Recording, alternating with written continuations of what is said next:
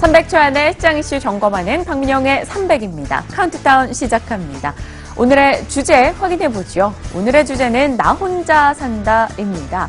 최근 들어서 싱글족 앞에 화려한이란 단어가 수식어처럼 붙고 있죠. 화려한 라이프를 즐기는 그들이 어떤 곳에 소비를 하느냐에 따라서 소비 지형이 전혀 달라지고 있는데요. 한국에서도 네 가구 중 한 가구가 1인 가구라고 하는데 최근 들어서는 중국에서도 1인 가구가 급증세를 기록하고 있다고 합니다. 오늘 그런 부분 좀 살펴보도록 할게요. 중국에서 1인 가구 수는 꾸준하게 증가세를 나타내고 있고 앞으로도 그 증가 속도는 굉장히 가파르게 진행될 것으로 보입니다. 현재 중국의 싱글족이 2억 명 정도라고 하는데요. 2억 명, 한국 인구의 무려 4배에 달하는 수치입니다. 중국 인구의 15%를 차지하고 있고요. 그들이 돈을 어떻게 쓰느냐에 따라서 그 파급 효과는 전혀 달라지고 있죠. 그에 따라 소비 지형이 흔들리고 있습니다. 어떤 소식들인지 점검을 해보죠. 우선 중국에서 1인 가구가 왜 이렇게 늘고 있는지를 좀 파악해 보겠습니다. 이혼율이 증가하면서 따로 사는 이들이 늘고 있고요. 이 미혼, 결혼을 하지 않는 이들 역시나 증가세를 기록하고 있습니다.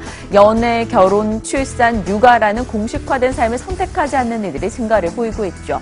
또 결혼을 하겠다라는 이들도 만혼화 제도라고 해서 출산율을 억제하기 위해서 남자 25, 여자 23 이상 돼야 결혼을 할 경우 휴가를 각각 3일씩 주는 제도가 있다고 합니다. 뭐 그 덕분에 결혼 좀 늦추는 이들도 있다라고 하고요.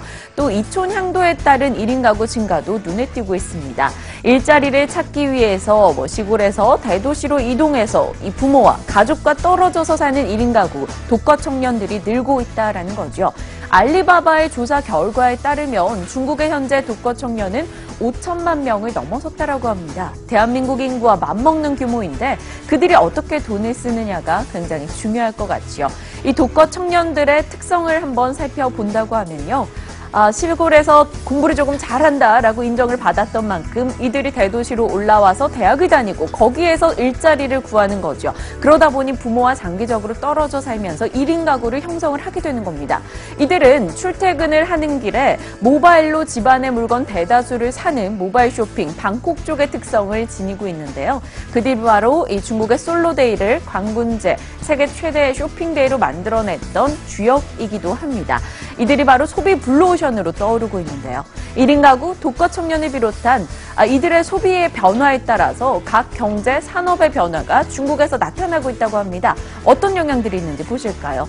여행만 놓고 봐도 중국 최대 온라인 여행사 시트립의 조사 결과 1인 여행이 2년 새에 2배 이상 증가세를 기록하고 있고요. 1인 가구가 늘다 보니 넓은 집에 살 필요가 없죠. 미니 아파트나 원룸의 이 공급 역시나 건설 부분에선 증가합니다. 작은 곳이니 작은 가전이 들어가겠죠. 소형 가전 시장도 연평균 12%씩 성장세를 기록합니다. 그리고 배달 음식도 이 흥행을 보이고 있는데요. 아, 독거 청년 덕분에 배달 앱이 매출 44%가 증가하는 1년 사이에 한 업체에서 그런 형태가 나타나고 있습니다. 편의점 부분만 놓고 봐도 패밀리마트, 일평균 30만 개 도시락이 판매되고 있고요. 연간으로 놓고 봤을 땐 1억 개 도시락 판매가 나타나고 있다고 합니다. 그러다 보니 NH투자증권에서는 이들이 원하는 것을 우리는 알고 있어야 한다라고 이야기합니다. 음식이나 편의점 유통, 소형 가전 부분에서는 사실 중국의 현지 로컬 업체들이 훨씬 유리하기 때문에 한국의 차별화 포인트를 가지고 있는 이 부분을 주목하자라는 거죠. 드라마, 엔터, 화장품, 그리고 MMORPG 게임 등이 거론되고 있습니다. MMORPG 게임, 뭐 집에서 독거 청년 혹은 1인 가구 등이 게임을 하는 숫자가 점차 늘어나고 있다는 거죠. 그 때문에 눈여겨볼 종목 으로 대표로는 NC소프트, CJENM, J콘텐트리, 뭐 LG 생활건강 등을 거론하고 있습니다. KRX 250에 따라서 이들은 수급이 개선될 것이고 이번 주에 있을 한중 정상회담 기대도 실어볼 만하다라고 이야기하고 있네요. 오늘 이 중에서 NC소프트 얘기 살펴봐야겠죠. 바로 대만의 리니지 M, 바로 오늘 정식 출시되는 날이기도 하기 때문입니다. 아, 대만에서는 한국 못지않게 리니지 M 천당 M이란 이름으로 등장을 하게 됐는데 큰 인기를 끌 것으로 예상이 됐었죠. 사전 예약도 굉장히 큰 흥행을 기록했습니다.